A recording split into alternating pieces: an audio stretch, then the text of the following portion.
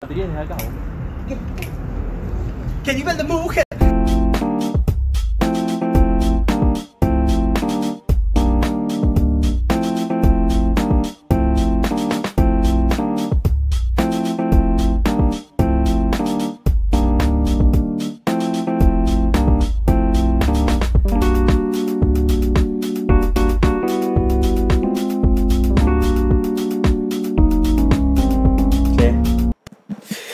Bienvenidos a la casa de Chaca, estamos con Matías Castañeda, aplausos de Felipe. Gracias, Felipe. Grande Felipe. ¿Cómo estás, Mati? Bien, bien, la verdad bien. ¿Feliz de verme? Tempranito. Contento siempre de verte. Yo estoy feliz siempre de Te verte. considero un amigo. Yo también. Eh, Te y viste que los amigos no se tienen que ver todo el Ah, tiempo. No precisa la frecuencia la amistad. Hay un código que está implícito que lo manejamos los que somos amigos, que nos vemos tres o cuatro veces por año. Igual me encanta el que inventó el concepto, que la amistad no precisa de la frecuencia porque es obviamente una persona que no le da bola a nadie, Muy vago emocionalmente. pero inventó la frase y quedó bárbara. ¿Sabes quién, la usamos todos. ¿Sabes quién creo que es? ¿Quién? Iorio. Me encantaría que sea él y no Dolina, porque siempre termina siendo Dolina el que inventó esas frases.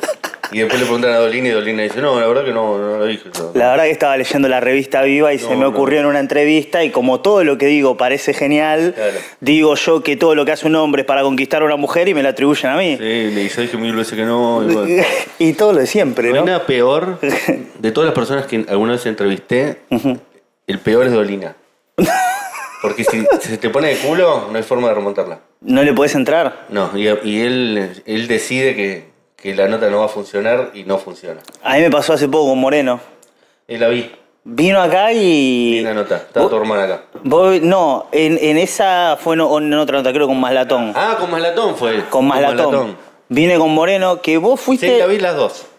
y, y Moreno es como que, Y te viste... tomó de punto. Cuando te tomó de punto, cagaste. Qué difícil, boludo. Encima, ¿sabes qué? Para mí que yo no es que banco a Moreno porque lo vi en YouTube. Lo banco a Moreno porque Claro, mi viejo tenía, tenía una inmobiliaria, la unidad básica de Moreno la compró y yo a él lo miraba esto y el otro y, y vino acá y nos llevábamos bien, pero ese día estaba de culo el tipo. Una que no le gustó y ya está, se Y ya terminó. está. Se terminó, no le gustó la luz, pero Igual la manejaste bien porque eh, Hmm. hay otras entrevistas que ha hecho Moreno donde se le pone de culo y no salís de ahí. y se terminó. Y se terminó de verdad. Te pone a punto y empieza a decirte progre. Cuando te empieza a decir progre, perdiste. Escuchame, vos inauguraste la discusión de los progres. Yo eso le quiero decir No, a la gente. Para mí sí, el Bueno. año 2013 Duro de Omar o 2011, pero no de los progres. Vos hacías la crítica eh, generando el estilo exquisito del panelismo. Una cosa, Epa, una, linda, ¿eh? boludo, una cosa es sentarse Y no me llaman ahora. y opinar. No importa. Ok. Para vos yo soy bueno. Sos el mejor. Bueno, a mí no me llaman. ¿Qué es me, me llamó, volvió a llamar Flavio nada más. Así que tranquilo. No tiene nada que ver. Para mí vos sos excelente en el panelismo y me parece muy loco, obviamente, que no tengas tu rol porque inventaste un género que es yo te digo algo que está bien, te hago la crítica que quiero, te hago sentir mal y te saco del status quo. Cuando me pasaba cuando te veían duro de domar y hablaban todos a favor de Cristina y vos decías, está todo bien con Cristina, pero no puede no arreglar con Moyano. ¿Me entendés? Y bueno, Por ejemplo. porque Cristina se equivocó. Pero en esa época era muy difícil decir Cristina se equivocó en un programa como Duro de Domar. Eso es a lo, a lo que Yo voy. no tuve nunca problema. ¿Nunca sentiste miedo de hacerlo? Al contrario, creo que es un deber cuando vos opinás algo decirlo. Porque las críticas para mí son constructivas, digamos, no es que quería que el gobierno se termine y que gane Macri. Claro, justamente quizá también Yo lo que quería era que se den cuenta que estaban cometiendo errores para no perder las elecciones. Entonces, si alguien se enoja por eso, directamente ya es. ¿Sabés lo que pasa? Me parece que también hay una orquesta armada de, che, acá no venimos a intentar cambiar las cosas. Acá venimos a cumplir. A decir lo que hay que decir y nada más. Y, te comes el viaje ese de querer ser un poquito revolucionario. Pero el problema con eso también es que el programa sale malo. Porque si todos opinan lo mismo, no hay debate, y si no hay debate, no hay interés, y, no te quedas mirando. Y si vos decís culo y yo digo tetas, también es muy evidente que yo lo estoy diciendo porque vos dijiste culo, ¿me entendés? Claro.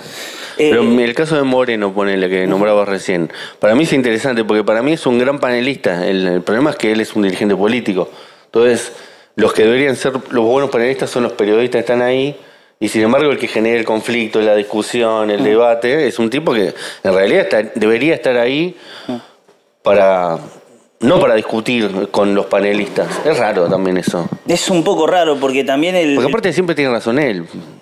Porque él estuvo ahí, vos no. Entonces es como con- discutir con Ruggeri y te- que te diga, vos sabés lo que pesa la, la Copa del Mundo. No, no sé, Ruggeri. Entonces ahí perdiste la discusión, más allá que no tenga razón. Claro. ¿Vos sabés lo que es entrar a un vestuario? No tengo idea. ¿Vos sabés lo que ponerte en la media? No, jamás. Entonces ganó la discusión, aunque no tenga razón. Por- Arcucci capaz que tiene razón, pero pierde la discusión porque Ruggeri entró a un vestuario. Por eso creo que hay que ir un poco en contra del periodismo gacetilla, ¿viste? O sea, hay, hay periodistas que se arman justamente su propia gacetilla. Estoy tomando café hoy. No te lo quiero despreciar No, ni no tampoco a Felipe, nada. pero estoy tomando café. Em, vos estuviste ¿No en esa podés época, mezclar café y mate? Me sube la bilirruina, me pongo como loco. Empiezo a cabecear las paredes. Me Bien. recuerda viejas épocas. Son las 11 de la mañana, le avisamos a la gente A mí me la sube. que lo van a ver después y quizás a la trasnoche, o no, o no lo va a ver O nadie. no lo vean, no, No lo importa. Está hecho para nosotros. Todavía no lo tomé, perdón. No, no, pensé que lo habías dejado. ¿Cómo es laburar en Futurock siendo el principal objetivo de destrucción comunicacional de un gobierno? Futurock es el principal objetivo de destrucción del gobierno. No tengo dudas. Mira, es un lindo lugar para laburar Futurock. ¿Te pasás bien? Sí, sí. Podemos decir lo que queremos. Eh, incluso a veces, contraintuitivamente, capaz decimos cosas que la- al oyente, a la oyentada no le gusta y, y se arman buenos debates. Pero no, la verdad, total libertad. Están las dos personas más cont- contraculturales de la Argentina, ¿Cómo quiénes? Julia Mengolini y Mariana Pichot. Además de muy talentosas, son personas eh, que siempre generan discusión y que son elegidas también. De hecho, cualquier cosa que hacen son trending topic. Eh, y son porque, el otro día lo estaba diciendo en una reunión que tuvimos que yo digo cualquier cosa no pasa nada. Julia dice algo, aunque sea lo más normal del mundo, Sí. y durante un día se está discutiendo Es verdad su que nombre en las redes sociales. dice hay que darle de comer a los chicos que tienen hambre y hay gente puteándola. Y hay gente puteándola. No, y aparte eh, ella sube los videos, nosotros también subimos los videos, pero ella la escuchan, le hacen el recorte, la suben a las redes, la sacan de contexto. ¿Por qué crees que es eso? Porque es mujer primero, me imagino, ¿no? Eso, no, no por ser el discurso. No, no, no. Pero por lo general las mujeres son trending topic, no solo Male y, y Julia, Nati J, este, ni, siquiera por la ideología. Claro. Eh, por lo general los varones dicen cosas no pasa nada. Salvo Flavio, nuestro amigo. Claro. Que es una persona que genera discusión y, y es trending topic muchas veces. Pero después, por lo general, son varones, eh, son mujeres las que son tomadas de punto para bien o para mal. Pensar que Cristina, por ejemplo, políticamente... Cristina misma, claro. eh, ella hablaba e incomodaba. También se replica una situación totalmente cotidiana que el que lo niega es porque... Nada. No entra ni a las redes. Si vos te fijas en las redes, por lo general las discusiones son por alrededor de mujeres. No sé por qué es, que otro Sí, análisis, bueno, pero vamos a seguramente llevarlo- Vamos a llevarlo a la casa. Hay una reunión y una mujer habla y grita de más. Es una loca. Exacto. Un hombre Sí. grita e impone autoridad. Es así, es la verdad. Por más de que uno quiera no, no meterse en esa agenda de feminismo, no feminismo, esto que el otro, hay cosas que son tangibles. Después podemos vivir en internet opinando a favor o en contra, pero es la realidad. Cuando una mujer quiere imponer una idea, es criticada. Mariana Pichot fue criticada hasta el fondo y sin embargo fue recontra revolucionaria con su producto. Aparte, Cuenta. yo siempre digo lo mismo: Male siempre termina teniendo razón. Lo dice de una manera muy Malena Pichot, eso genera discusiones, por supuesto. Ella sabe que hace eso y, y lo usa a favor de ella. Pero por lo general, cuando vos dejas pasar el tiempo, al final siempre tiene razón Malena Pichot. Y eso es lo que vale Nada, ¿O no, no? no sé si es lo que ella busca, pero nada, se la discute y al final tiene razón. Entonces, ¿para qué la discutiste? Esa sería mi pregunta. Y también está la extremada y la extremadamente. eh, Pero bueno, ella es una artista también. Exacto, de poder disfrutar lo que hace. Sí, no sé si lo disfrutan. Lo hacen, es una, lo hacen. Yo imagino que cuando te putean todo un día en redes sociales, No sé si elegís hacerlo o elegís que se hable de vos. No, pero voy al producto. Sí. O- Cualca, vos- es algo disfrutable. No, ella es la más talentosa de todas. Si vos no es lo- una artista. Si vos no, no entendés el código y no podés disfrutar de eso en el momento y después, eso es un drama. El mejor lugar de e-commerce es Nexoflex. Ellos se ocupan de mandar tu paquete al lugar que necesitas en el momento y en el tiempo exacto. Toda la ingeniería la tienen en Zona Norte y Capital. Contáctense en la página www.nexoflex.com.ar y me dicen, pero creo que no va a haber quejas. El Pipa es el número uno y la gente de Nexoflex apoya la casa de Chaca porque tenemos mucho que ver.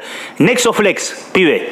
Y aparte te digo algo más. Ponele, yo estoy de acuerdo encima con Male, pero ponele que no estuviese de acuerdo. Es un artista. Obvio. No se discuten los artistas. Yo creo que sí igual.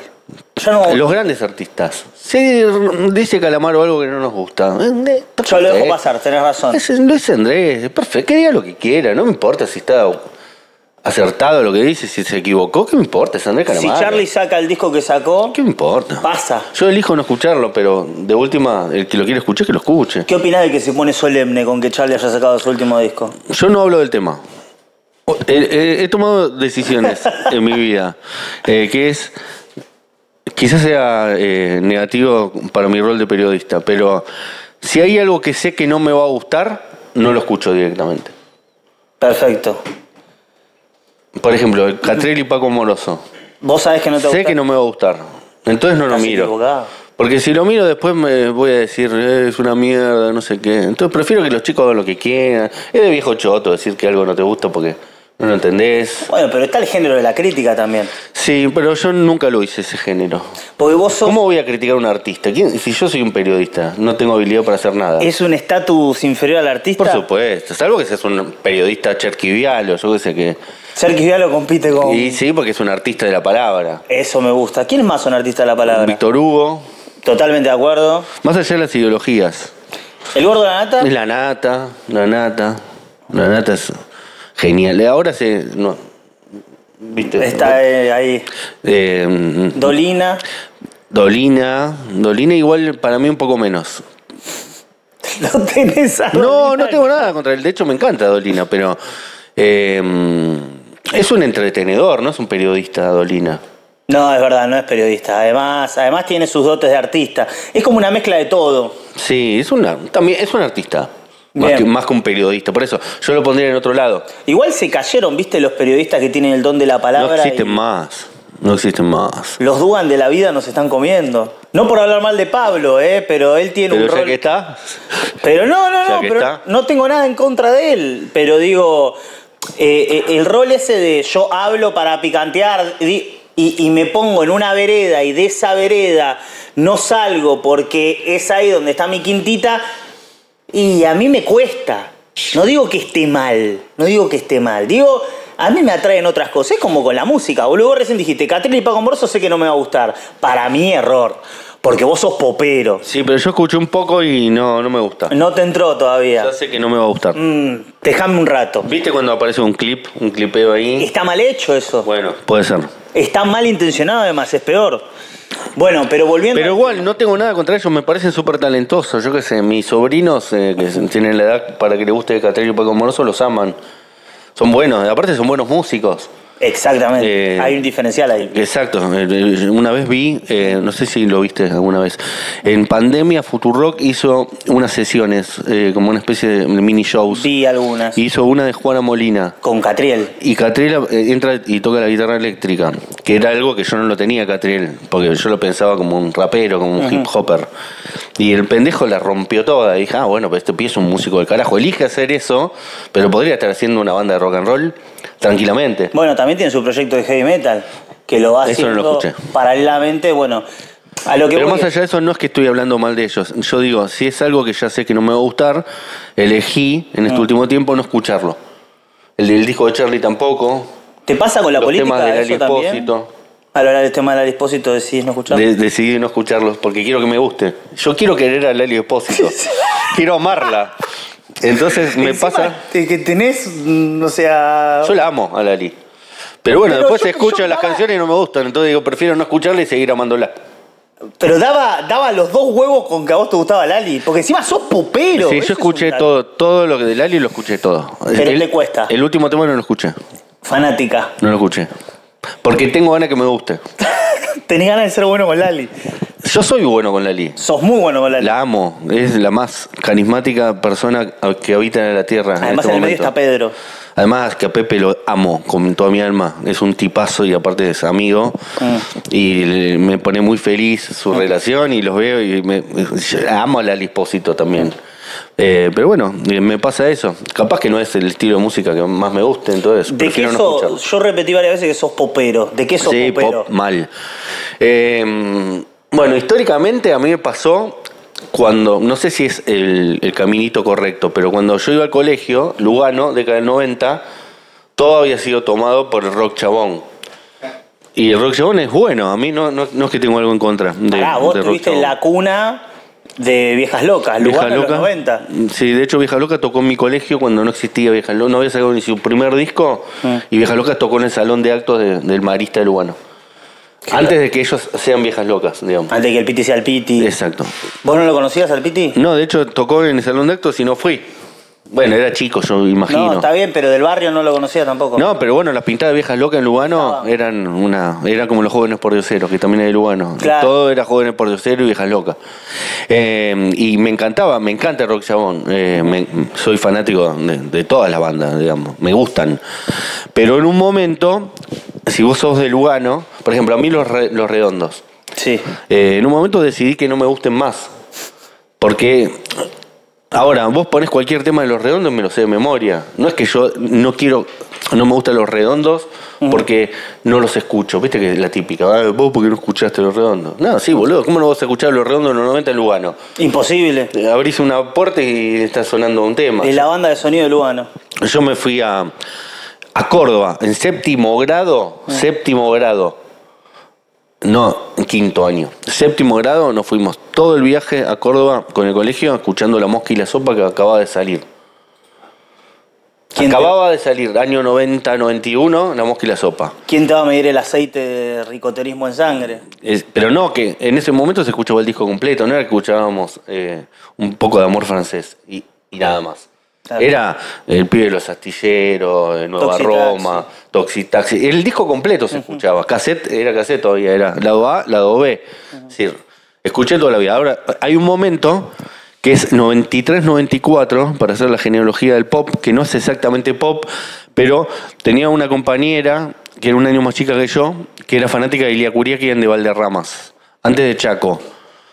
Y mm, era la, piba cool del colegio. ¿Viste la típica piba cool del colegio? Sí. Y le gustaba Ilia Kuriaki. Entonces yo dije, bueno, esto tiene que ser bueno.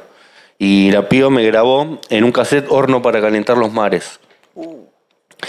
Eh, que era el segundo. El, el primero es Tuya Juan y eso. Y, y cuando escucho ese disco, la mina me graba dos temas, porque era un cassette de 90, entonces quedaba tiempo al final, y me graba dos temas babasónicos de pasto, Discaso. y me graba un tema de Spinetta, de Spinetta Jade, que se llama Resumen Porteño. Lo conozco. Temazo. Ricky ya está listo, listo del bocho, y encima le tocó Marina. O sea, escuchaste eso después de escuchar Nena, me gustas así de viejas locas. Claro. Hay un tras. No, igual en esa época era el primer disco de Viejas Locas. Estoy hablando de 93-94. Intoxicado, Entonces ejemplo. era así, era eh, Eva, eh, no te vas a Eva, con Adán. sí. Eh, es- es- esa etapa de Viejas Locas. Y, y yo ahí dije, bueno, a mí, para diferenciarme, te, te soy absolutamente sincero, uno es adolescente, busca su personalidad. Como Enduro de Domar. Me voy a hacer alternativo, acá nadie es alternativo. Y tenía un compañero que se llamaba Green, Guillermo, eh, le mando un beso a Guille, que era el único que le gustaba Babasónicos. Entonces éramos los únicos dos. Y me acuerdo que un día nos rateamos y nos fuimos a ver a Babasónicos. Estábamos hablando del trance zomba. Otra banda a la que soy. A ver, con la misma esencia hoy, pero digo, Igual me gusta más esa parte que la actual. ¿eh? sí, a mí muchísimo más. Dame los primeros cuatro discos. Mezclaron lo cinco. alternativo con el barrio, con el pop y hasta muchísimas cos- cosas que se usan hoy en el dance, en el, perdón, en el house y otros géneros. Hasta Miami. Drum and bass también. Para mí es la mejor banda de la Argentina. Infame también. Infame es la Pero consagración. es otra cosa ya, es el germen de lo que va a ser después Babasónico. Una super banda exportable a países como México, Colombia. La amo, no estoy hablando en contra. Ahora, los cinco primeros discos de Babasónico son Ay, Porque hay que ser, escúchame, hay que ser Rolinga Lugano, pero hay que ser alternativo en Lanús. De eso se trata, ahí está el tema. Sí. Y a vos te tocó ser alternativo en Lugano y dejaste de lado un rato a los redondos para entrar en el gen popero y de ahí explotó. Claro que en realidad no es pop eso, pero digo, para esa época era, Era pop. Escuchar, eh, yo qué sé, explosión en mi barrio. Porque a mi generación no le importa su opinión. Sí, claro. Porque bueno, a mi generación. de agua. ¿Qué, qué banda, boludo? Esas- y eso es el segundo Perfume Casino. Pero cuando saca el tercero, que es Dopádromo, yo dije, estamos en presencia de algo absolutamente mutante. Ese disco es espectacular, Es ¿eh? espectacular. Ese disco, No no, sé si lo hablamos, ese disco es espectacular. No tiene sentido. Shiva Baby cambia siete veces de melodía. te, te rompe la cabeza, va, yo me rompo la cabeza pensando en la puta madre, lo tienen que remasterizar esto porque Sí. hoy lo escuchás y justamente es actual, completamente actual. A ver, Sí. Igual es, a ellos no les importa esa época, digámoslo. Hoy la, la bastardean. no sé por qué, no, no, no, no, no sé si la bastardean, pero por lo menos no la, re- no la revisitan. Nada, es más fácil hacer una banda de guitarra, bajo y batería y se terminó, es Y lo es lo más que la fácil gente que hay. quiere escuchar. Y está perfecto. Pero El- vos eh, escuchás Babasónica, cuarto. Es heavy metal. sí, Es heavy metal. metal. Siete vírgenes descalzas, Ego Cripta. Las letras además. What the fuck. Después cuando pasa a la, bueno, a- él es un escritor a la, a la época de Rubí, Perfume Casino, mezclando a Sandro divina. con Bossa Nova y haciéndote ir de un lado para el otro. Bueno, ahí estamos hablando de músicos. Es lo mismo que hicimos con, con Paco y Catriel. Entra el pop en tu vida, Sí. termina la secundaria, periodismo. Para, y ahí te falta la otra parte, que ¿Qué? yo me engancho con eh, los temas de las pibas de, de MTV. De las VJs. Sí, Alanis Morissette fue para mí lo más grande de la Muy grosa la Alanis Morissette. Me acuerdo eh, cuando llegó Mi Jagged Little Pill, eh, que dije, ah, no, esto es lo que me gusta de verdad. Y me hice fanático, no solo de Alanis Morissette, sino que ahí empecé a recorrer todas el conjunto de mujeres eh, enojadas con sus padres y sus novios. Eh, bueno, y ahí... Temas como zombie. Claro, bueno. Cranberry. De hecho, tengo un- mi gran amigo del colegio, eh, Luciano, es eh, también guitarrista, músico. no vive de eso, pero es el mejor guitarrista rítmico que vas a escuchar en tu vida. y, y él era muy de esto, era fanático de Roxette. Sí. Entonces él ya tenía esa beta más popera. Eh, yo también, todo el mundo era fanático de Roxette, podemos confesarlo. Aco- Acordate que existían los gustos ocultos en esa Sí. época que hoy no pasan. Total. O sea, vos llegabas a tu casa y quizá te picaba un temita de bandana y no lo podías escuchar. Yo sí, eso es lo que voy. Ok. Yo siempre me cagué en eso, pero de chico. Fuiste para el frente con eso. Entonces yo escuchaba todo eso. Y bueno, la cosa es que me hago fanático primero de, de, de Alanis y después entro por todo. Entonces, eh, Britney la amé de entrada. Eh, había un montón de minas que ahora ya no existen Estábamos más. todos recontra enamorados de Britney. ¿eh? Tracy Bonham, eh, Merit Brooks, eh, había un montón de minas que cantaban Bueno, tipo Alanis. posterior Cristina Aguilera ya Claro. mezclando los dos géneros, siendo un poquito más mainstream. Y me hago fanático de Tori Amos. No conozco Tori Amos. En una entrevista que le hacen a Alanis Morissette, ella dice que su gran héroe, bueno, tiene dos grandes héroes, una es Kate Bush, que ahora se puso de moda últimamente, Crack. crack total, y eh, Tori Amos. Y yo no sabía quién era Tori Amos, entonces este amigo, Luciano, se compra el primer disco de, de- de- eh, Little Earthquakes, Pequeños Terremotos. Mucha data estás bajando. Eh, y yo le dije, eh, discúlpame, en ese momento vos comprabas el disco Musimundo, lo grababas y lo devolvías. Y después Ah, extraordinario. Te, te, te- te- te quedabas con uno grabado en cassette y el otro ¿Te acordás así, el precio de los discos de esa época? 18 a 20 dólares, pesos. 18 a 20 pesos. Después bajó el precio, ¿te acordás? No, estuvieron más o menos ahí. ¿eh? Ah, pará, yo recuerdo época de los dos- 2000. Capaz que se devaluó la moneda y No, el los ahí. viejos, los viejos eran más baratos. Los viejos estaban Claro. 9,99 en Musimundo. Un disco ese hizo 57. ACDC 2009-57 era muy caro. El Black Ice Eh, no, eh, de Razor's Edge. de Razor's Edge. Que ya era del 2000. Creo que eran más, eran, estaban más baratos los viejos, después, y, pero ustedes lo Ya copiaban. había más barato, sí. Entonces él se compra ese y le digo, ¿lo vas a grabar? Y me dice, no, no me gustó. Y yo le digo, bueno, déjamelo, porque tenías una semana para devolverlo. Déjamelo el fin de semana, lo escucho, me grabo las canciones yo y después te lo devuelvo para que vos lo devuelvas. Así imagínate Para los pibitos el tráfico esto es- cultural que había. Esto es una locura. Pues claro, no había Spotify. Hoy lo escuchás directamente en Spotify. Y me grabé tres temas de ese disco de Tori que, que me volvieron loco y después los escuché a repetición porque no tenías tanta música como ahora. Lo que tenías lo escuchabas hasta que lo, lo, lo desgastabas, ¿no? Por eso querés tanto a los temas que escuchaste de chico Claro. también, porque era lo único que tenías. Eh, Lo sabes de memoria todas las inflexiones. Por supuesto. Bueno, me grabo Winter, me grabo China, me grabo Mia Negan, todos del primer disco de, de Tori, y a partir de ese momento me hice fanático de ella. Y empecé a comprar todos los discos de Tori Amos. Y los singles, los eh, de todo. Me, me hago fanático de ella. Y durante un montón de tiempo lo único que escuché fue Tori Amos. Y estaba en Lugano escuchando Tori Nadie más escuchaba Tori Amos en Lugano. Te sentías súper especial. Súper especial. Eso está perfecto. Sí, ahí, bueno, me armé en un grupo de, de- cuando aparece internet, nos juntamos un grupo de cuatro o cinco fanáticos de Tori Amos de Argentina. hasta que me puse de novio con una piba que me dijo, esto me parece que es un poco freak y estos pibes que son tus amigos son raros. Tenés razón, mi amor. Yo ahora le voy a dedicar todo el tiempo a nuestra relación. Voy a escuchar Iorio ahora.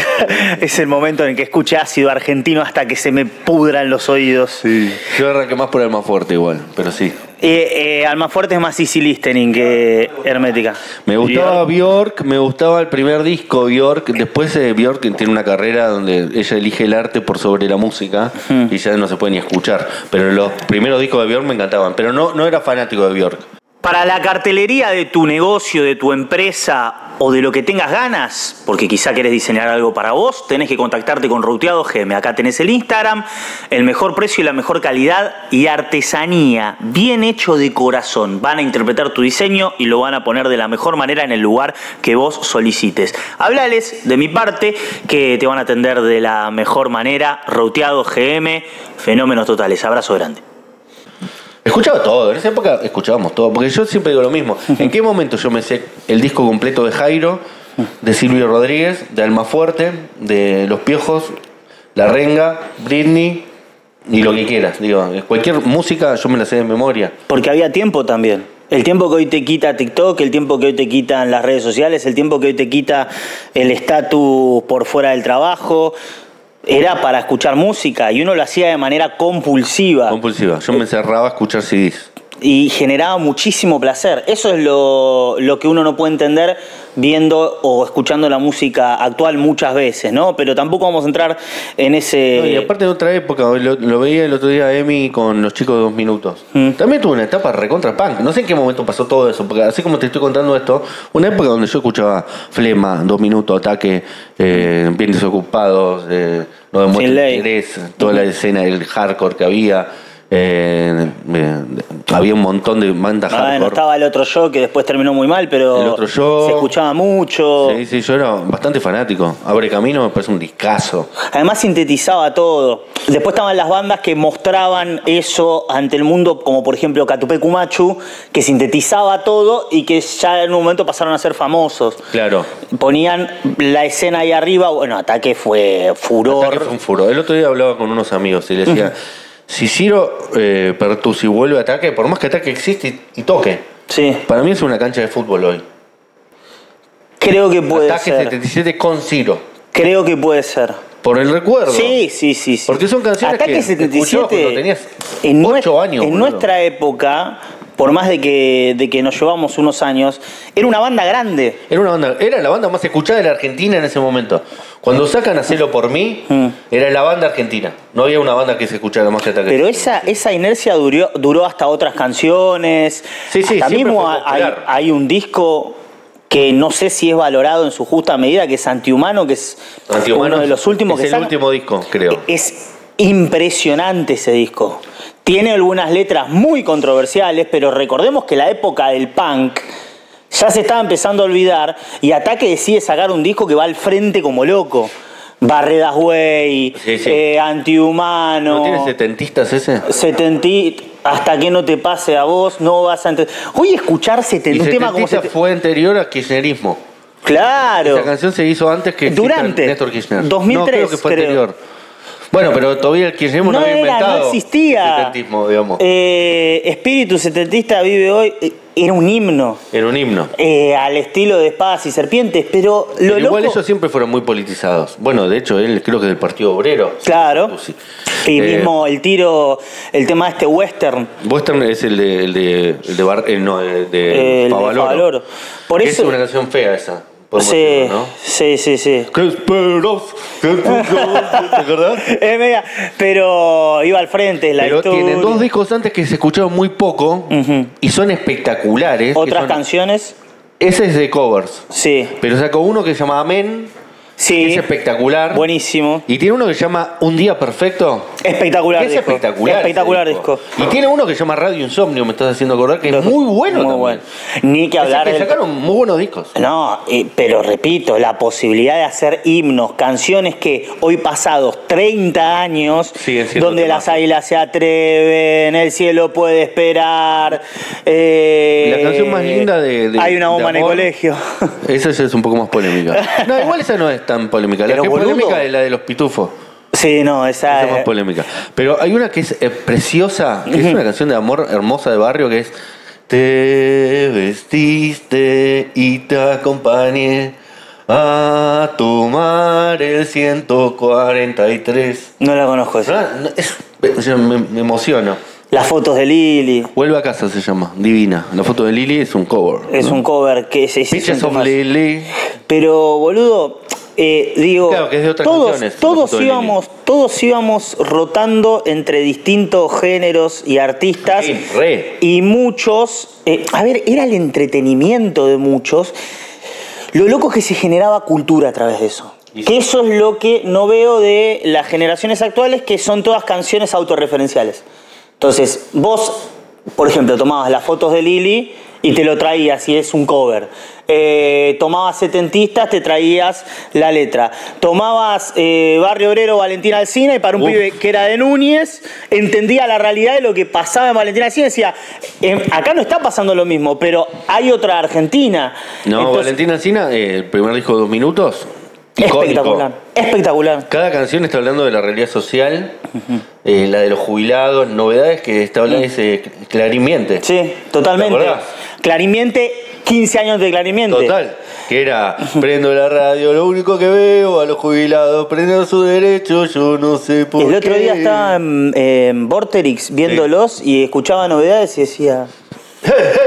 Y, y lo mismo, eh, caramelo de limón. Sí, que, ese disco tiene- eh, ¿Otra mujer es de ese disco? Sí. Sí. Eh, lindo, yo Mujer. que estoy enamorado de vos. Eh, sí. Cerveza, Cerveza. las canciones que iban encriptando, después solo hizo mucho Arrebato tenía ese disco. Arrebato. Y bueno, ya no sos igual, que es un himno. Himno total que también la reversionó Trueno, que eso también está bueno, el crossover de las generaciones. Porque es un temazo. Ya no sos igual, es, ter- es terrible. Nos fuimos con la Melentil música abrazándolo. al policía. Diciéndole, Qué gesto, "Ya no ¿no? sos". ¿Qué te pasa con Boca hoy? Eh, yo soy. Voy a decir algo recontra mil polémico. Sí. Eh, yo lo quiero más a Román que a Boca. Te amo. La estoy pasando mal porque yo quiero que le vaya bien a Román. Eh, yo le quería, quería que le vaya bien a Martínez porque quiero que le vaya bien a Román. O sea, lo sentiste como una derrota lo de Martínez porque le fue mal a Román. sí, a mí. Martínez no, no me importa, no está en el esquema de mis ídolos. Pero yo quería que le vaya bien. Primero me parece un buen tipo. Eh, y después eh, por Román, yo no quiero que le vaya mal. Yo sé que si le llega a ir mal, un año más le van a hacer una cama. Ya se la están haciendo. Ya está complicado. Pero no lo defendés desde el lado político, sino desde el amor. Las dos cosas. Las dos cosas. Sí, me parece un tipo íntegro. Bien. Maravilloso. Yo no sé cómo una persona que no terminó la primaria tiene la inteligencia que tiene Juan Román Riquelme. ¿Dónde lo aprendió? Yo no sé dónde lo, dónde lo aprendió. Eh, también hay que empezar a amigarse con un concepto que es que nosotros nacemos con algo, ¿me entendés? Que Riquelme nació con esa Nació inteligencia, con eso. amigo.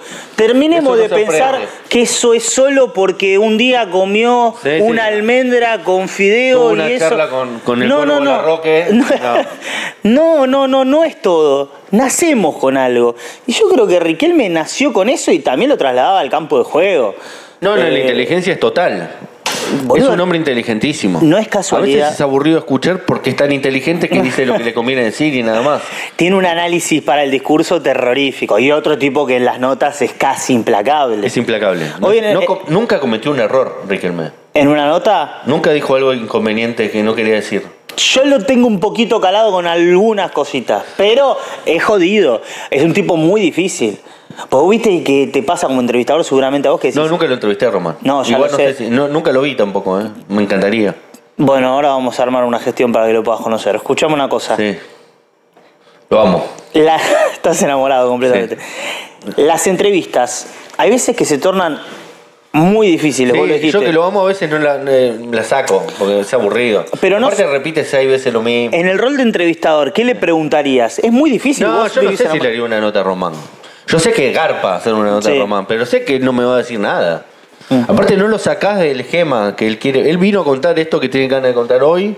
Y si vos le preguntás, bueno, vamos a hacer la génesis. Vamos, cuando vos arrancaste que eras un pibe, eh, no, el pibe vuelva hoy, no, no quiero hablar. La única entrevista que para mí es la mejor entrevista que le hacen a Román, que logró eso, fue quizás porque él quería hacerlo, si no, no lo hubiera hecho, porque no es que fue mérito totalmente de Fantino, pero sí esa entrevista que le hacen en Animales Sueltos, ¿te acordás? Sí, ¿Qué? 2012, 2013. Que habla de su vida completa, cómo arrancó.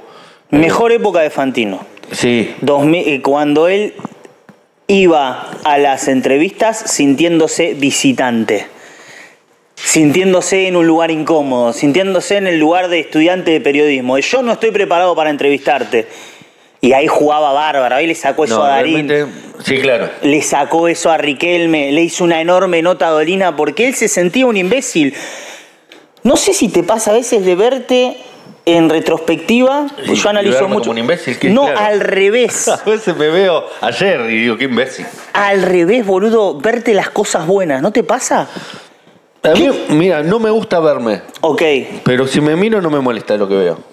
Tampoco que digo qué genio que soy, pero hago bien mi laburo, no, no. Tampoco soy el mejor ni el peor, pero... Las entrevistas se me dan bien, por ejemplo. eh, porque tenés buena charla y sos simpático por fuera además. Y culto, No sé, inteligente. me salen bien, me gustan las entrevistas que hago. Tampoco que me quedo mirando mis propias entrevistas. Y ¿Te sería. Me masturbo mirando mis fotos, me amo el tema de cuarteto de No, Nos. no, no me pasa eso, no me amo para nada. Eh, pero digo, es un oficio el periodismo. Exacto. Y yo, mm, si hay 150 periodistas, estaré en, mitad de tabla, pero estoy contento, no que quiero ser el número uno. No, no, no tengo ese. Además, muchas veces es circunstancial. Sí. Pasa algo. pero aprendí cosas, yo qué sé. Eso es lo que me molesta, la gente no aprende. La gente que es cerrada. en- Yo lo veo a Nicolás Winiaski. Y, y digo, está todo bien, no, no te sale hablar bien. Pero anda el fonoaudiólogo, hermano. Hace 60 años que trabajas en televisión. O bañate. Bueno, pero bien. O abrochate nuevo la corbata. Pero a mí lo que me molesta es que. Pará, boludo, porque el otro día hizo el editorial de su vida, quiso putear a No, le salió pésimo. Y le salió como el orto. no boludo. tenés ese talento, no sos irónico. No lo hagas. Apoyate, apoyate en, una imagen. Y decí, Milei la concha de tu madre, y ahí va a salir bien. Pero no lo Iba, hagas. iba a decir, no tiene un amigo que le diga, y después me di cuenta que obviamente que no tiene amigos. Entonces es casi literal, no tiene un amigo que le diga. No, es una pregunta, es una afirmación. Yo sé que los productores de él en su época le decían. es que y para mí hay algo ahí que más allá de eso, ¿no? Que es que... Dejando a Wiñaski hace de lado es un poco de 20 chiste. años que estás en la tele. Aprende a hablar. Yo tampoco sabía hablar, por eso me pongo como ejemplo. Yo no sabía hablar. Vos llegaste de la gráfica, ¿no? A la tele. Ni, ni siquiera. Yo escribí en un blog de verga. Pero yo que el primer- el- arranco en la tele no sabía ni hablar. No, me trababa solo.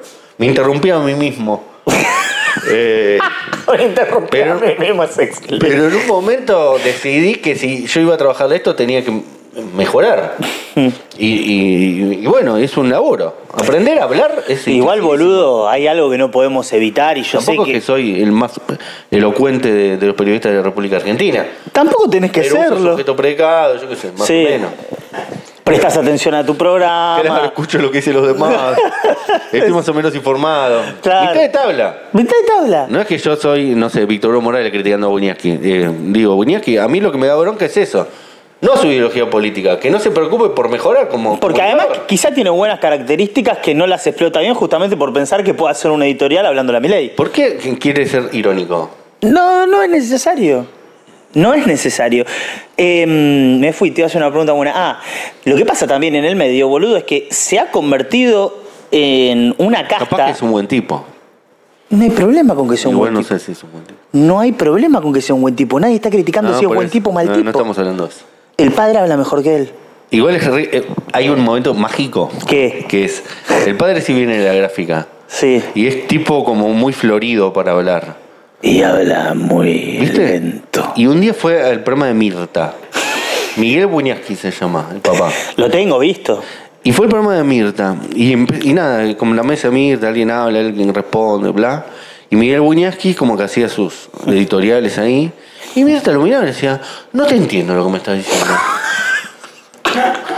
Y, y no fue una, fueron como cuatro o cinco veces que Mirta le dijo, no, no, no, habla, habla más claro, por favor, no te estoy entendiendo lo que me querés decir. Y así fueron como cuatro o cinco veces hasta que le sacó la palabra. ¿Se puede ser tan- "No lo- a este no lo inviten más, no le entiendo nada. ¿Se puede ser tan crack como Mirta Legrand? Es la mejor. ¿Se puede ser tan, tan, tan crack durante tanto tiempo? Para mí, No va a existir. más allá de la ideología, ¿eh? No, completamente más allá de la es ideología. la mejor, mejor que Moria, te digo, para mí. Moria la tengo en un lugarcito especial. Moria es otra cosa, pero como Moria tuvo la posibilidad muchas veces de conducir programas de tele. Y no hacía lo y, de no Mirta. es, y Mirta es mejor. Para mí, a mí me encanta cómo conduce Moria, ¿eh? y Susana eh, también tiene sus cosas, pero para mí Mirta es la mejor de todas. Mirta hace periodismo, bueno, con la edad que tiene, eh, hace show, entiende los tiempos, nunca tiene una risa de más, boludo. Es quirúrgico el laburo que hace la tipa. Es Es impresionante. maravilloso. Una vez entrevisté a Juan José Becerra, Sí. el escritor argentino y aparte tipazo, Mm. y me dijo una genialidad que es que en Argentina el periodismo ya no hace la pregunta que hay que hacer. Porque por compromisos, Mm. es decir, si vos sos kirchnerista y entrevistás a Cristina, no le vas a preguntar Mm. la pregunta que todo el mundo le quiere hacer. ¿Por qué Exacto. eligió a Alberto? Claro. Sí, es- hace una autocrítica. Che, ¿no te da?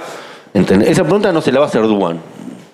Y al revés, si va Macri, el programa de, no sé, Buñaski, Mm. no le va a hacer la Lindo pregunta. encuentro. Che, tal cosa. ¿Entendés? La pregunta esa na- nadie la hace. Nadie formula la pregunta que hay que preguntar. Hay una pregunta que nadie formula.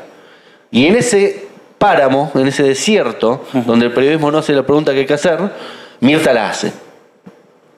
Y sin estridencia. Y por eso se convierte, no, esto lo dijo Juan José Becerra, no lo digo yo, se convierte en la mejor periodista del país porque es la única. El concepto es espectacular. Estoy completamente de acuerdo. Porque es la única que le dice a Macri, che, ustedes no están viendo la realidad. Es impresionante. Y los dejó Juliana Aguada y Mauricio Macri ahí medio... eh, No. Fin del gobierno de Macri. Y eso ni siquiera fue una pregunta, fue una Bueno, observación. la pregunta, la pregunta impresionante de Mirta, que funda el kirchnerismo para mí, Sí. es a Néstor y a Cristina, la gente tiene miedo de que vuelvan los 70. Sí, sí. eh, y, no, igual el, Y ahí para mí a Cristina el, ahora van a volver los 70, puta. E- Ella ahora van a volver los 70. dos cosas. Eh, se, viene el surdaje, es la, Ese, la se viene el surdaje. Y, y después dice, igual capaz que un poco de surdaje nos, nos viene bien, dice Mirta. Esa parte no se la acuerda la gente, pero también dice eso. Jorge Amiconi es el número uno del tango nacional e internacional y tiene su show a disposición de nosotros, los comunes, los normales. Contrataciones de Jorge Amiconi al 11 59 54 67 45. Síganlo en Instagram que van a enterarse de las próximas novedades del varón del tango Jorge Amiconi de La Plata para el mundo. Jorge Amiconi, viejo nomás. Y ahí Néstor le interrumpe y le dice que decir eso está, es malo porque nos ha llevado ese tipo de expresiones a situaciones muy incómodas en, en la historia, bla, bla, bla, como que lo pone en una consideración. Y mira, esa pregunta a Néstor y a Cristina en la mesa. La pregunta es una afirmación, porque no son preguntas, mira, son afirmaciones. La, la de Néstor y Cristina, se viene el surdaje. La de Macri y Juliana, ustedes no ven la realidad. Y la de Milei y Fátima, ustedes son raros.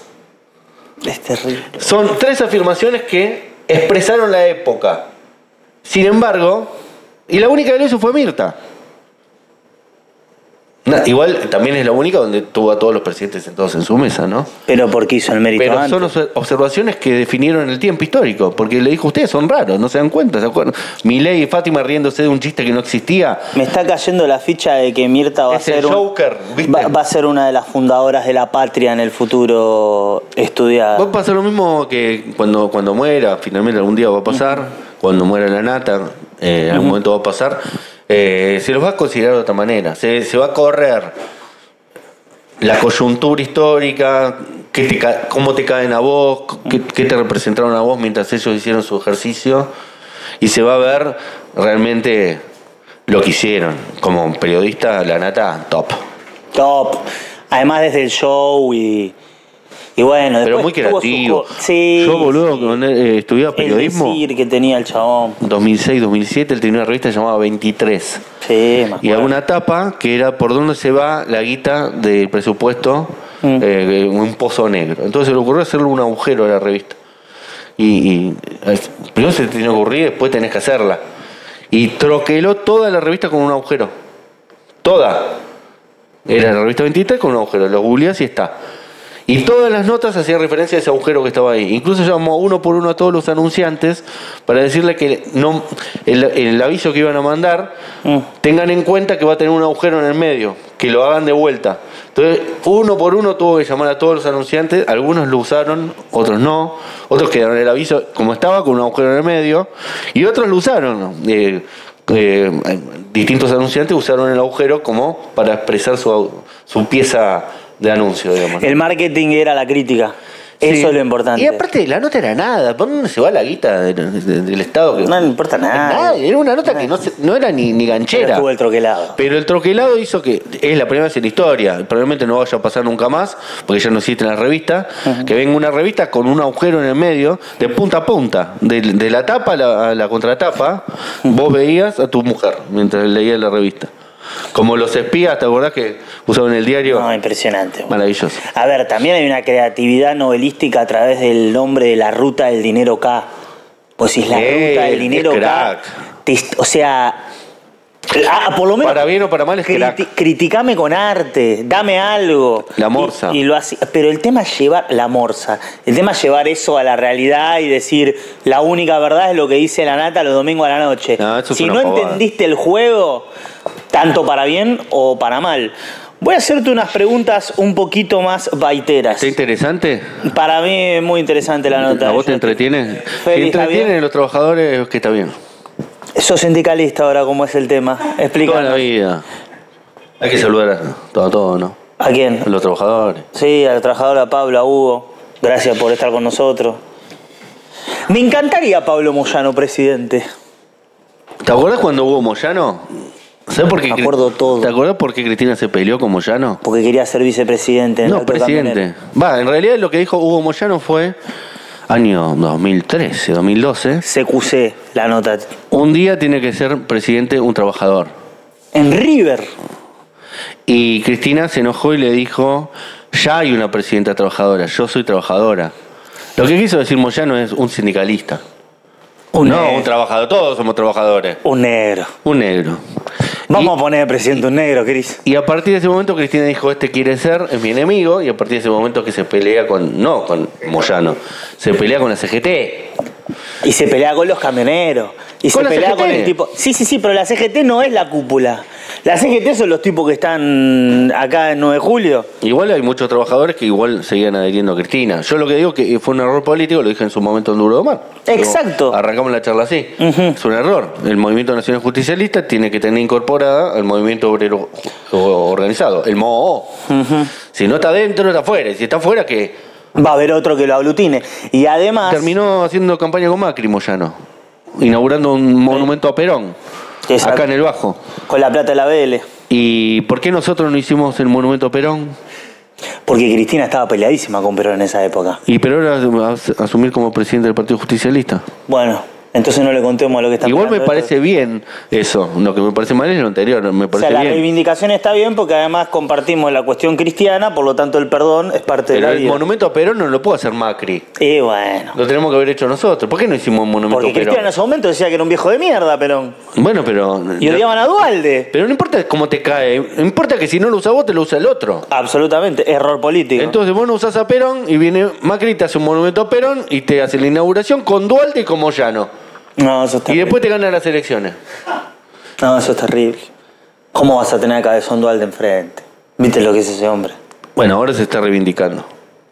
¿No? ¿De poquito? 27 libros sacó después de ser presidente, es un fenómeno. no De hecho, durante todo el kirchnerismo, la década ganada, Sí. eh, se hablaba del periodo 2003-2015. Claro. Y en estos últimos tiempos ya se está empezando a decir 2002-2015. No, 2002-2011 se está empezando a decir. Claro. Como que se está haciendo otro relato que me parece más honesto también, que es, esos fueron los buenos ¿Vos años. veías la caída Esos fueron los buenos años, 2002, 2011, 2010. en época 6, 7, 8 y demás? El fanatismo kirchnerato estaba a full. O sea, todo lo que Yo hacía bien el parte hacían- kirchnerismo, digamos, no me voy a correr. Pero vos ahí criticabas, boludo. Pero o sea, vos eras puteado por las señoras. ¿Te estabas Eso dando cuenta que algo estaba funcionando mal? Pero para mí hay algo que, que es lo que está mal, es que yo soy periodista. Yo me formé en el siglo XX. El periodista tiene que decir lo que piensa, no tiene que defender a alguien. Entonces vos la veías mal en esa época, que se venía el choque, se venía Macri, por ejemplo. Pero yo, por ejemplo, te acabo de decir, soy el fanático número Román, lo amo a Román. Mm. ¿No? Quiero que le vaya bien. No hay nada que me ponga más triste que a Román le vaya mal. Ahora, che, se olvidaron de mandar eh, los transfer para el mail para que metan a los pibes en la Sudamericana. Y lo voy a criticar a Román. No voy a decir, bueno, la verdad que, que eso es lo que pasa muchas veces con el kirchnerismo. Era, bueno, pero hay que entender que a veces no funciona Internet. Y vos querés mandar un mail y se te. No, aquí no le pasó que el reloj eh, se, le, se le atrasó. Eh, a mí me pasó un montón de veces que yo tenía que llegar a un lugar y llegué tarde. ¿Por qué no le va a pasar a Chelo Delgado? Ent- ent- ¿Entendés? Cuando termina haciendo eso la defensa del gobierno, y es un error. Y aparte es contraproducente. A Cristina hay que decirle lo que. Duca, diciéndole el otro día: la bala que no te mató es la que todavía te queda. Salí a caminar. Es lo que está haciendo Cristina ahora. Hay dos teorías. Lo escuchó Duca y cambió de opinión. O la otra ella lo tenía decidido de antes, bla, bla, bla. Ahora, yo estoy seguro que nadie de todos los colaboradores de Cristina le dijo eso. No. No le dijo. Por más que es algo que es obvio.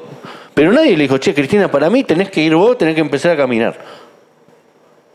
Se lo dijo Duca. Y ella lo escuchó y dijo, tiene razón el señor. Es decir, lo- el mensaje que nos está dando Cristina es, critíqueme. No, Muévanse. Yo, yo le estoy dando bola al que me está criticando. Cristina eligió a Alberto que lo criticó. eligió a Massa que lo criticó. No elige a los chupamedias. No hay nada peor que un chupamedia. Y, y para un dirigente político peor. Porque si vos te rodeas de chupamedia no, no hay pensamiento. Además es evidente que Duca no lo dice desde su estatus de, de expresidente independiente, sino lo dice desde, desde el Ciudadano lugar común. llano, desde el ciudadano común, evidentemente. No ciudad- kirchnerista, porque aparte ni siquiera es kirchnerista Duca. No fue Claro. peronista, creo que no votó nunca a Cristina. Pero después cuando vino Macri se dio cuenta que Cristina es la única que lo puede parar. Bueno, ese es el análisis que hace Duca, después puede estar a favor o en contra. Ahora, Duca le habló con el corazón y ella respondió. Para mí, ¿eh? No tengo información, tengo intuición. Después que habló Duca, cambió Cristina. Sí, a, a- a ver, desde lo discursivo aceleró muchísimo, profundizó las críticas al gobierno, empezó a hablar por Twitter, empezó a, a moverse eh, políticamente, va ahora por el PJ, evidentemente le entró, justamente esa bala le entró. Bueno, a ver, a mí me parece algo positivo que Cristina sea presidenta del PJ, me parece positivo que Macri sea el presidente del PRO, me parece positivo que Milei después de su gobierno sea el presidente de los libertarios o luego se unirán, no sé, me parecería muy positivo que Lustó sea el presidente de la Unión Cívica Radical y que estén aclarados los tantos. Que los que conducen, conducen. Que Sí. si la reta quiere armarse su partido, se arme su partido. Boludo, está bien. A ver, la, la síntesis y la reta, por más de que sean 11%, existen. Y él tiene Sí, que sí, aparte para mí, hoy por hoy, la reta, voy a decir algo inconveniente quizás, es un buen dirigente. Es un buen Se dirigente. murió. Es, un buen dirigente. Para mí, Obvio que es un buen dirigente. el tiempo le va a dar la razón. a Ya no tiene caja para pagar pauta, así que Eso esto es no está pautado. Estamos hablando. Igual no le sirvió nada tener la plata para la caja. Obvio. Pero bien. Pero la verdad que como gestor uno lo ve, vos vivís eh, o transitas el microcentro. o es Desde distinto. que perdió la reta es un chiquero a cielo abierto la ciudad de Buenos Aires. Ujú. Es decir, no es fácil gobernar una ciudad con 3 millones de personas, eh, gigante, debe ser la ciudad más grande después de Sao Paulo de, de América Latina, eh, bueno, el DF también. ¿Y, y cómo gobernás? Una ciudad que tenés Villa Urquiza, tenés Lugano, tenés Soldati, tenés Barrio Norte, tenés... Matadero, Núñez. Yo Son- vivo en esta ciudad hace 45 años. Mm. Toda la vida viajé en transporte público. No conozco toda la ciudad. Hay días que yo voy caminando por un lugar y digo, esta calle no estuve nunca. Me pongo contento. Digo, la ciudad de Buenos Aires todavía tiene vericuetos que no conozco. ¿Cómo lo gobernás? pasajes. Eh, es difícil. Más cuando pensás que la tenés atada porque venís de Vicente López. Bueno, ya directamente es. Los porteños tenemos que hacer una fuerte autocrítica. Y boludo. Porque todo también- bien votar a la reta. Pero votar a Jorge Macri. Y bueno, pero está, está cooptado. Está cooptado, como pasa. Pero esto era una ciudad que era progre, boludo. ¿Qué pasó? No, pero el pro me parece que no es pro, no es no progre el pro, ¿eh? Tiene un componente, si no, no ganarían. No, no, no. El- el- eh, la ciudad de Buenos Aires de un tiempo a esta parte se volvió profundamente antiperonista.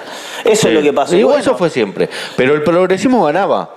bueno, tampoco están los radicales porque se asociaron con Cambiemos. Pero vos pon- ponele, vos pensás que eh, Macri a Aníbal Ibarra no le pudo ganar. Le tuvo que hacer un juicio político por Cromañón. Lo tuvo que sacar con un impeachment, le Aníbal, podemos decir ahora. y Aníbal Ibarra se iba a quedar años y Sí. años y años, porque además tenía eh, la síntesis del peronismo con el radicalismo y con el progresismo. Total. Y era un dirigente que en su momento, lo ves y decía, Aníbal Ibarra, jefe de gobierno, proyección total. Y era un, un gestor pésimo. eh, Digamos, me fue muy malo como jefe de gobierno. El, el principal responsable de la tragedia de Cromañón, Además. crisis total de la generación de los 2000, final de una época. Pero sin embargo, Macri no le podía ganar con toda la guita, siendo presidente de Boca, campeón de todo, bla, bla, Bianchi, Riquelme, todo no le pudo ganar nunca. Lo tuvo que sacar con un impeachment. Aníbal. Ibarra. Entonces, ¿en qué momento la ciudad dejó de construir esos dirigentes progres, no peronistas, que lograran aglutinar a ese público amplio que hiciera que Jorge Macri no llegara a jefe de gobierno? Hay una Yo lo que estoy pidiendo no es que votemos eh, a alguien peronista, que gane Guillermo Moreno en la ciudad de Buenos Aires, no va a pasar. No va a pasar. Pero por lo menos construir un dirigente progre que obture que gane Jorge Macri. No, lo que tiene que ir eh, todo el arco opositor es a llevar a un balotaje a Santoro y a Lustó. ¿Sabés quién es el responsable el de todo esto? ¿Quién? Te lo voy a decir. Decilo. Alberto Fernández. Elección 2007. Mm. eh, el, el jefe de gobierno era Jorge Tellerman. Porque le habían hecho un impeachment a Ibarra y había quedado el el vice. vicejefe. Y el candidato natural era Jorge Tellerman. Había que apoyar a Jorge Tellerman y se le ganaba a Macri. Macri era parte del pasado. Y nadie nunca más lo iba a recordar. Tellerman que en la ciudad de Buenos Aires era Perón. Era- era muy Después de Fue un Ibarra, buen gestor. Esos dos años fueron mejores que los años de Ibarra. mirá que además resumía todo. Venía el progresismo, lo aceptaban las viejas chetas, Jefe de gobierno perfecto para hacer Buenos Aires. perfecto, pelado, casi gay. culto. Eh, decidió Alberto Fernández que tenía que poner un dirigente propio, que era Daniel Filmus. Dividió el voto, fuimos al balotaje y perdimos con Macri, con Daniel Filmus. 60-40. No perdimos 51-49. De hecho, No, Lustó recuerdo, sí. después casi le gana a la reta, no sé si te acordás, en algún balotaje. No fui a votar ese día. Bueno, pero casi, casi le gana un balotaje a la reta. Eh, esa elección, 60-40 la perdió Filmus con eh, Macri. Baile. Si hubiera sido Jorge Tellerman, hubiera ganado en primera vuelta a lo mejor. Y hoy Macri no hubiera sido nunca jefe de O se gobierno. hubiera postergado cuatro años, que es mi teoría, que Macri debería haber sido presidente en el año 2019, no en el 2015. No hubiera generado tanto. O se hubiera cansado, hubiera dicho, no, la verdad estoy hace un montón de tiempo, ser. no puedo, viste, yo soy millonario, no tengo ganas. Después desarrollaremos en otro momento Sí. la teoría que tengo, esa Pero de eso que es todo Alberto, ¿eh? todo, Alberto. Y de, Alberto y de todo. Néstor que lo aceptó, porque también Néstor lo aceptó, pero era El distrito de la Ciudad de Buenos Aires lo manejaba Alberto Fernández. Bueno, pero tampoco Néstor se podía ocupar de todo. Lo que pasa es que uno de los grandes déficits del primer kirchnerismo es que no había roles eh, para ocupar, no había gente para ocupar ciertos roles, que es mucho lo que dice Moreno. Llegamos a la Casa Rosada, éramos siete, ocho, ¿viste? Eh, te voy a poner en un lugar un poquito más banal. Me encanta. Ahora, hay un montón, me, me quedaron un montón de cosas afuera, pero la charla está espectacular, así que... Transcurrió listo. los canales del sueño. Exactamente, hermoso lo que decís. Es un poema de González Tuñán. Después mandámelo. González Lluvia me se llama el poema. Lluvia de González Tuñón. Raúl González Tuñán. El poeta argentino más subvalorado de la Argentina. Lo voy a, lo voy a leer. Genio. Voy a los lugares banales. Dale. ¿Con qué conductor de la televisión te sentiste más cómodo y con cuál te sentiste más incómodo? No trabajé tanto en tele yo, tuve dos o tres, nada más. La pregunta fue clara. Sí. Eh,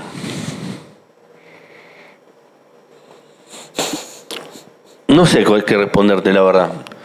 Eh, nunca me sentí cómodo. No es fácil trabajar en tele. Claro, porque nunca me sentí cómodo.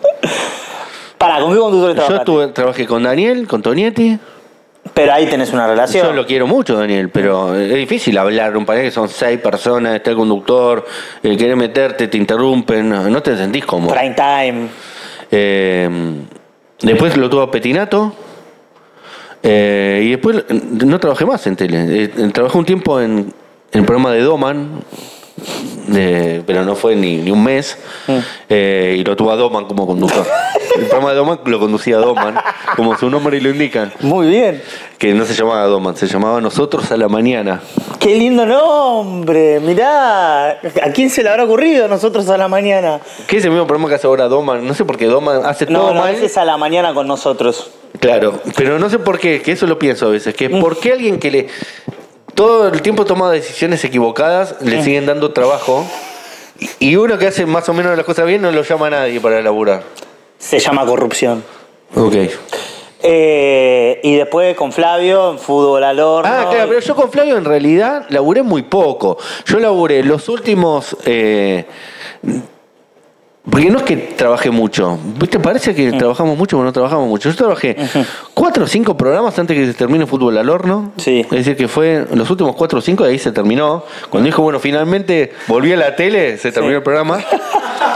Y después hicimos... Me acuerdo las charlas de, boludo, estoy contento, para mí volver a la tele es algo Aparte era un importantísimo. programa lindo, Y agarra- icónico. arranca Flavio el programa de radio en un momento y dice, bueno, les tengo que decir algo, me voy a recorrer el mundo, no sé cómo harán ustedes, yo me voy. Eso fue lo que pasó.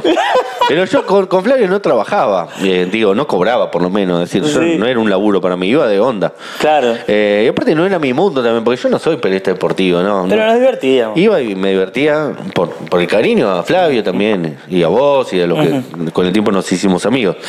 Y después el fútbol outsider fue muy poco. Primero porque era un programa semanal. Era un programa que nunca le encontramos la vuelta. Es decir, que Sí. no era que lo íbamos a hacer muy felices, que digamos. 40 minutos duraba. 40 minutos. A Y, me todo lo- hacía muy feliz. y todos los chivos que metíamos. En crónica. Benegón y hermanos. Eh, y después de eso, Camisetas Nani. Fénix. no sé si se acuerdan, era domingo a las 11 de la noche, en el bajo del bajo, es decir, ahí donde está el río de la Plata casi, y hacía un frío en invierno de, que, de la san bomba. Terrífico. Terrorífico. Para no insultar porque si no te banean el, el- De la zamputa, YouTube. De la-. Bueno. Y, y había que salir para estar a las 11, yo- a las 10 y media, un domingo Era de terrible. frío, para hacer un programa que no le encontrábamos la vuelta, que Flavio no estaba contento, nadie la estaba pasando del todo bien. Fue. No fue algo que vos recuerdas, va, al menos yo no lo recuerdo como qué, qué gran momento. Fue- fue- Generó un germen igual. sí, bueno, todos los que salieron de ahí, salvo yo, le fue bien después. No, vos te fue bien, pelotudo, sos conductor en Futurock, primer nivel, inteligente, haces entrevistas, Pero sos a valorado. nivel de ustedes, no, mirá ¿Qué que- nivel de ustedes? Coroniti, Toscano, vos, Carroza, todos eh, super, super figuras. Yo ahí modesto. ¿Te gusta estar en lugar de modesto? ¿Me molesta? Modesto, un problemita. Un programita en Futurock. Pero lo de, lo de Emi, Emi explosión lo total. de Emi, a mí primero me pone muy feliz Por él. porque lo conocemos y- Sí. y es, iba a decir un tipazo, pero es el mejor tipo del mundo. Eh, el otro día vi la de dos minutos, ¿la viste? No lo vi y les pedí perdón tanto a dos minutos como a Emiliano porque tuve una semana terrorífica. Ok. Pero me puso muy contento la repercusión que tuvo. Bueno, lo mejor es la nota a dos minutos previa a la nota a dos minutos. La voy a ver. Es Emi Gononiti solo en el auto manejando Mm. en Valentina Alcina, viendo los locales cerrados y haciendo comentarios de locales. Son 10 minutos de Emiliano Gononiti que hace stand-up. Diciendo, riéndose de que está la persiana baja, de- del que el, el- Como hizo con los colchones en la previa encontrarse a ¿Cómo hizo los en? Constitución. ¿Quién vende los colchones? Esto es la banguita. ¿Sabés qué le dije Eso a.? es lo mejor, boludo. Y eso lo hace solo. Es decir, el tipo tiene un Te voy a talento. decir algo. Te voy a decir algo. Y ni él sabe el talento que tiene. Ese capítulo, eh, yo generé una amistad muy hermosa con el indio de dos minutos, guitarrista.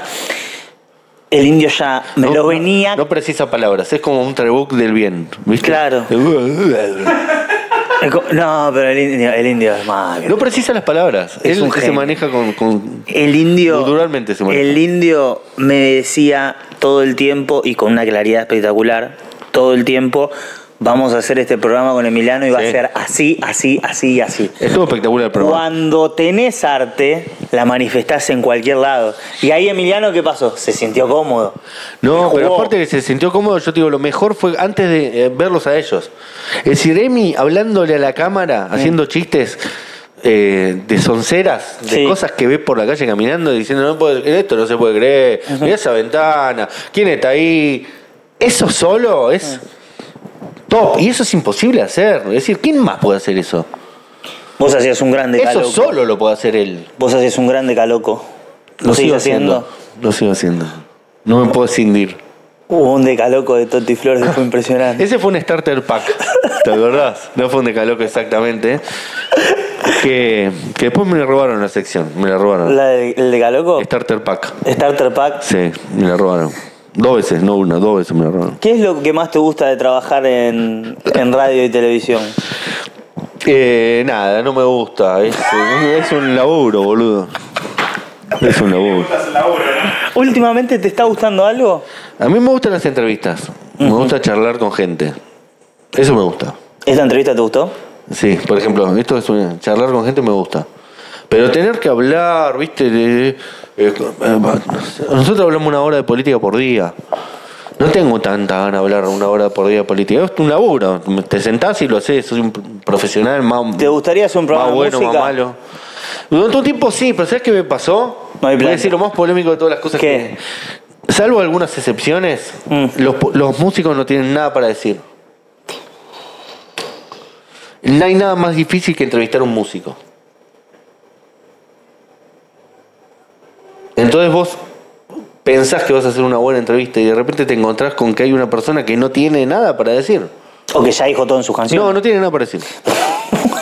No, Matías, está bien. Te lo juro, boludo, no lo digo por joder. ¿Cuál fue la persona más grosa que conociste en tu vida?